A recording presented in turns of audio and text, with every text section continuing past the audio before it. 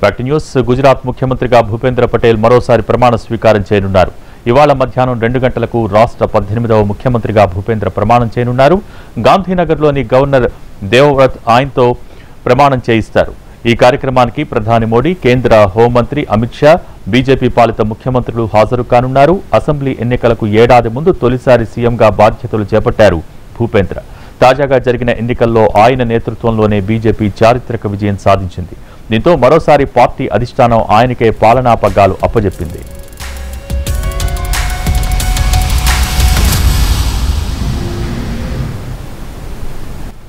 News Gujarat ముఖ్యమంత్రిగా భూపేంద్ర పటేల్ మరోసారి ప్రమాణ స్వీకారం చేయనున్నారు. ఇవాళ మధ్యాహ్నం రెండు గంటలకు రాష్ట్ర పద్దెనిమిదవ ముఖ్యమంత్రిగా భూపేంద్ర ప్రమాణం చేయనున్నారు. గాంధీనగర్లోని గవర్నర్ దేవవ్రత్ ఆయనతో ప్రమాణం చేయిస్తారు.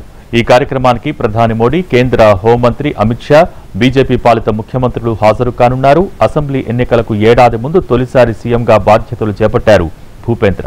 తాజాగా జరిగిన ఎన్నికల్లో ఆయన నేతృత్వంలోనే బీజేపీ చారిత్రక విజయం సాధించింది.